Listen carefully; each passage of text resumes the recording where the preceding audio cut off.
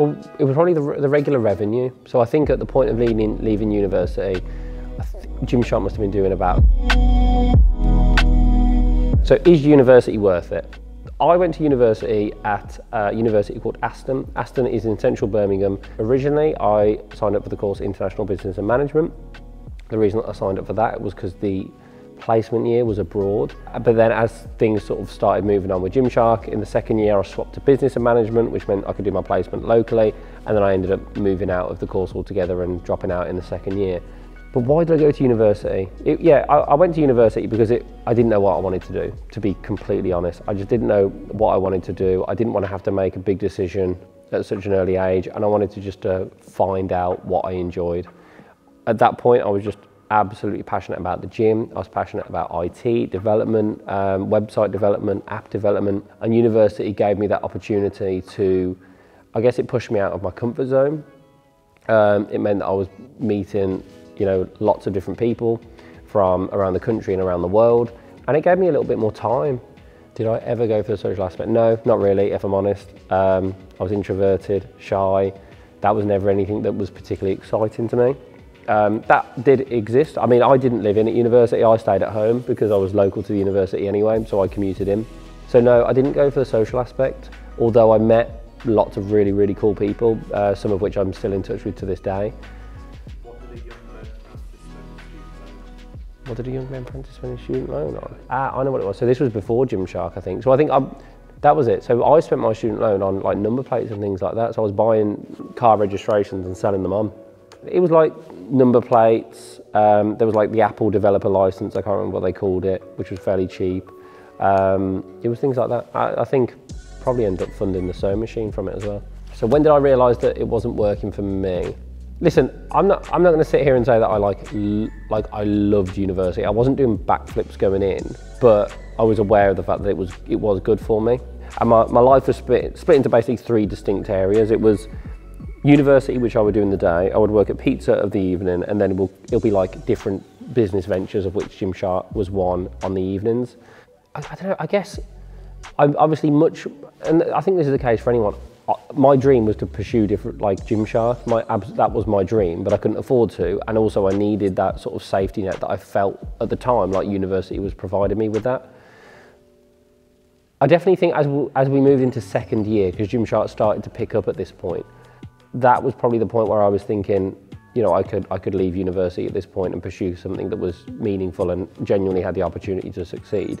And it wasn't until that sort of tipping point where it was a case of do a shift at Pizza Hut, go and do a university exam, or go to the first day of the Body Power Expo, where I was sort of forced to make that decision. But if I'm honest, I really wanted to sort of like try and hold on to Pizza Hut and university for that matter as long as I possibly could.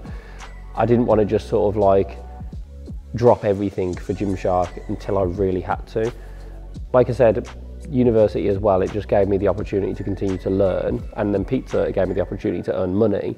So it meant that I could really allow Gymshark to prosper without having to, you know, having to fund my lifestyle or, or anything else. So, um, yeah, it was it was through second year, sort of end of first year, early second year. I think was the point where I thought, you know what, I don't think I'm going to finish this course. Gave the confidence to? Um, well, it was probably the, the regular revenue. So I think at the point of leaving, leaving university, Gymshark must have been doing about a quarter of a million in revenue. So Gymshark was doing a quarter of a million in revenue and I was still working at Pizza and I was still at university.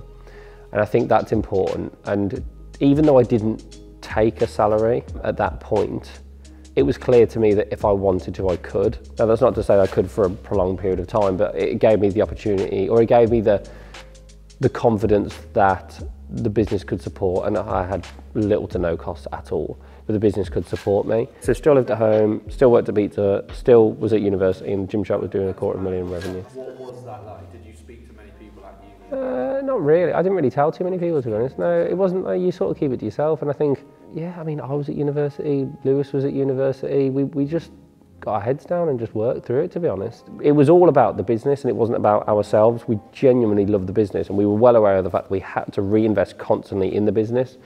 So it's, it's all well and good having that revenue number, but you have to reinvest every single penny just to give yourself a shot at continued growth. So yeah, the numbers were big, but well, one in the grand scheme of things compared to much larger businesses, they weren't. And we had to reinvest every penny of that just to give ourselves a shot.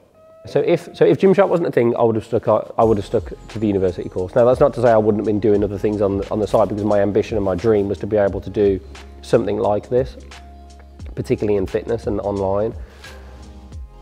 So if it wasn't Gymshark, I'd like to think it would have been something else, but I wouldn't have left at that point. I wouldn't have given it up for um, just to go off and pursue something that didn't exist at the time. I wanted to see something tangible.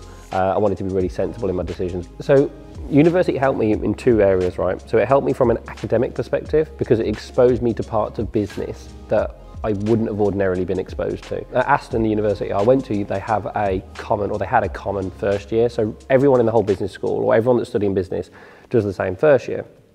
That meant for me, who was doing business management, even though I was happy to do certain business topics and tech development computing topics, I wasn't particularly excited to do the accountancy, finance, operations, legal side of things. But because of the common first year, I had to. And that actually really helped because it exposed me to parts or to subjects that I wouldn't have exposed myself to at that age voluntarily.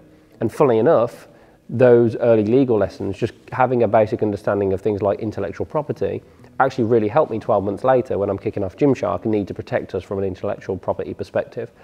That's not to say that I knew everything about it and I was a genius in that area because I definitely wasn't. But just having that basic understanding really, really helped. And then separately, it helped me from a social perspective because I was pushed out of my comfort zone into a university with a lot of people, I, well, pretty much everyone I'd never met before, and just, just that little push outside of my comfort zone really helped. I think there's so much that you can learn, and I, am a massive advocate for lifelong, lifelong learning, however you do that, whether it's through reading books, meeting people, listening to podcasts, or going off and doing a, a course at university. Just choose the medium that works best for you. Uh, and I think, I genuinely think that, you know, you can learn so much from universities. Whilst it wasn't, it didn't like make sense for me at the time. And you see a lot of these things, don't you, online where you see like this person dropped out and went and did really cool things. But also there's a lot of people that didn't drop out and also did really cool things as well. So I think you can learn a hell of a lot from university. As an employer, do you look for that? Oh, not really, no. Like, oh, no. It's not something you like, oh, I, no, I don't. No, we, I, I wouldn't I wouldn't look at a CV and look at university personally. No, I wouldn't. That's not to say that other people wouldn't, but no, I, I wouldn't. No, I would look at past experiences, and it really depends as well on, like, obviously, if you're a lawyer, then you have to have a, a certain level of, you know, of skill and certain things that you have to have right to do that. So, I, from that point of view, I completely get it. But in a creative role or in many management roles, I wouldn't personally be looking at university. You'd more just want to make sure that an individual is competent and strong in what they do. And if I'm honest, one of the things that is really important to me, specifically in creative areas, is I want to see that people have pursued, you know, creative projects outside of their work life because then it makes you realize that this person is genuinely passionate about that. I think that really helps. My advice to others who may be thinking about dropping out of university, um, I think I would say think really carefully about why you're there first and foremost, because the opportunities from university are vast, both from an academic point of view, but from a social point of view as well. I wouldn't just jump out of university if you don't have anything. So even if you want to start a business and you want to create something really cool, I don't like not doing it because you're at university for me is just an excuse. Like you should be able to do this on your evenings and weekends. I don't think you need to like jump out of university to start a business. I think you can build something that works and then leave if that is something that you want to do. I think as well, just be again really thoughtful about why you're there and what you want out of it because it's it is a bit of a free pass in the sense that like you can just spend a period of time being selfish, concentrating on yourself and learning and gaining knowledge and that I think is really really powerful. So I think just think really carefully about what you're doing and why. Don't be led on by the minority that have left university and done incredible things. That's not to say that you won't be able to do that. I'm sure that you will. But equally, I think just be thoughtful about the opportunity that you have. There are so many people that would give so much to be in your position. So I think just, just think about that. And then if you do have something, you have a brilliant idea or you have a business or you have an opportunity elsewhere that is tangible and makes sense, then at that point I think that's when you can seriously consider making the leap. So over a year ago, it was during COVID, I had an email from, from Aston that basically said they wanted to give me an honor, honorary degree. Obviously, I was absolutely buzzing because I was, I'm going to be, I thought I'm going to be the first person in my family to have a degree. Then as time went on, I re- well, they then mentioned to me that it was going to be an honorary doctorate, which is out of this world. I could not believe it. I was super emotional. I called my mum and dad straight away and I was telling them about it. To not only be the first person in the family to go to university, but also to get a doctorate and to be the first doctor in the family is crazy as well. So it was a really special moment for me. And then that happened about a year or so ago. And then, you know, the organisation happens and it gets closer and closer. And I sort of didn't think too much of it because I was so busy with work. And then when it came round, it was a, an incredible day and it was a super emotional day. I, yeah, I genuinely just couldn't believe it. And I was so proud, so, so proud of the fact that I'd been awarded that and that they'd thought about me, especially that, you know, they'd given it me or they'd awarded it me now at the age that I'm at at 29. It was, um, it was emotional, it was overwhelming, and it was all round just an, an incredible day. So I was so, so proud that Aston awarded it me.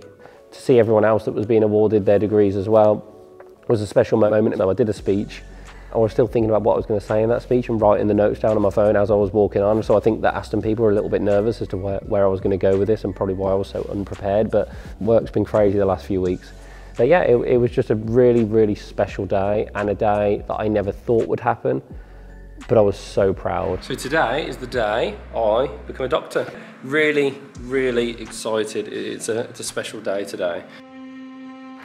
Benjamin Francis, on behalf of the University, I confer upon you the degree of Doctor of Business Administration honoris causa.